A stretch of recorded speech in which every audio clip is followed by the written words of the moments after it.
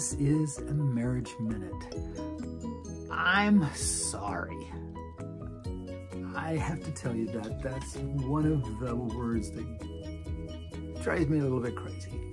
Because a lot of times when people say they are sorry, they are really not sorry. Um, and I was a high school teacher for a number of years. And you would catch kids doing something or they did something wrong or they something happened and they would immediately say, I'm sorry. And they really didn't mean it. A lot of times it's basically, I'm sorry that I got caught doing this thing.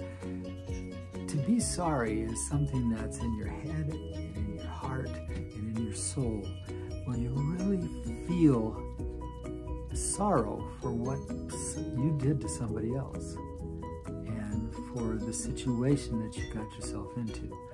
And it means that you need to be repentant, that you need to change your heart. And saying you're sorry has a lot of weight with it.